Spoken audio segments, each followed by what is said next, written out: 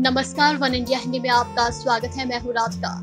Police वाले आए दिन किसी न किसी विवाद के चलते सुर्खियों में बने रहते हैं, लेकिन नागपुर में एक सीनियर पुलिस अधिकारी ने मानवता की ऐसी मिसाल पेश की है, जिसकी हर कोई तारीफ़ कर रहा है। दरअसल, ट्रैफ़िक नियमों का उल्लंघन करने पर ऑटो वाले का चालान कर दिया गया था, साथ ही उसका ऑटो भी जब्त कर दिया गया था। ऑटो वाले पर दो हज़ार रूपए का जुर्माना लगा था। ऑटो वाले पर कोरोना के चलते पैसों की किल्लत थी, जिसके चलते वो कई दिनों तक अपना ऑटो छुड़ाने ही नहीं आया। हाल ही में वो पत्नी बेटे के साथ थाने पहुँचा। ऑटो वाला जब अपनी पत्नी और बच्चों के साथ ऑटो छुड़ाने थाने पहुँचा तो उसके हाथ में बेटे की गुल्लक भी थी। गुल्लक देखकर अधिकारी ने पूछा कि गुल्लक किस लिए लाए हो? तो ऑटो ड्राइवर ने बताया कि घर में और पैसे नहीं हैं, इसलिए बेटे की गुल्लक में जो जमा पैसे हैं, उससे फाइन भरकर ऑटो को छुड़ाने आया हूँ।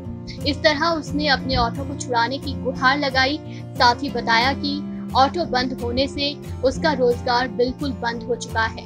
ये सुनकर वरिष्ठ पुलिस निरीक्षक अजय मालवीय का दिल पसीज गया।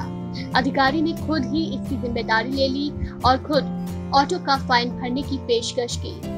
नागपुर सिटी पुलिस ने ट्विटर पर फ़ोटो भी शेयर की है और लिखा है कि वरिष्ठ पुलिस निरीक्षक अजय मालवीय उस समय हिल गए जब उन्होंने देखा कि ऑटो चालक ने अपने बेटे की बचत का उपयोग दो हज़ार रूपए का जुर्माना देने का फैसला किया, जिसके बाद मालवीय ने खुद ही अपनी जेब से राशि का भुगतान करने का फैसला किया।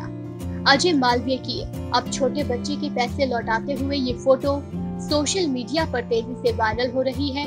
कई सोशल मीडिया यूज़र्स ने पुलिसकर्मी की सराहना की है। इस खबर में फ़िलहाल इतना ही। तमाम अपडेट्स के लिए बने रहिए वन इंडिया के साथ।